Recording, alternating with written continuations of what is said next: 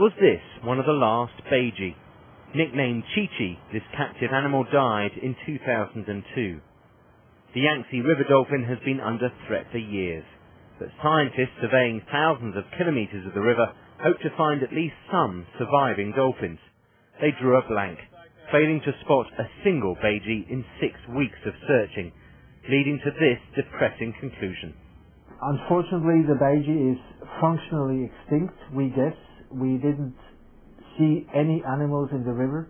We did survey uh, 3,500 kilometers uh, between Yichang and Shanghai and uh, upstreams, and we didn't see any Baiji.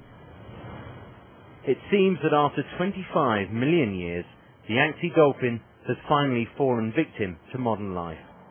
Pollution has played a part, but so too has overfishing and shipping. China's longest river is a busy waterway, with ships proving to be particularly lethal to the Baiji.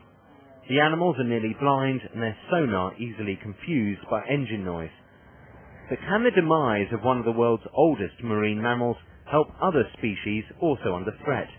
Okay, I've got a couple of uh, finless porpoise here.